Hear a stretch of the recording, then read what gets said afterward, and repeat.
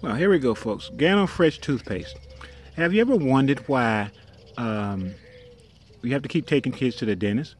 Mostly because of the fluoride that they put in our toothpaste. Well, Gano Excel, and with some research that uh, I found, doesn't put fluoride in their toothpaste. And neither does a lot of companies that are selling toothpaste that is good for your health. Check out Gano Fresh toothpaste, folks. Just go to jameslockerrepairs.blogspot.com. There's links there. You can go and get you some of this tremendous product. I would suggest buying a couple of tubes and trying it for a month. And you'll see the difference. You'll be able to taste the difference, feel the difference, and smell the difference. Especially if you're a smoker or someone who uh, uh, likes to eat a bunch of food that are pungent. Okay?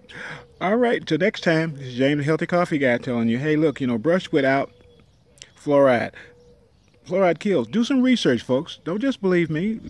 Go into uh, PubMed.gov and then type in fluoride and find out what exactly the deal is with fluoride. Why I suggest, and the company, and those companies are selling uh, products that are good for you, suggest that you do not ingest fluoride, even in small quantities, because of the long run for what it does to the body. Okay? It's James Healthy Coffee Guy. Hey, look, 480-277-0084. Bye now. If you got any questions, you, you know how to get a hold of me.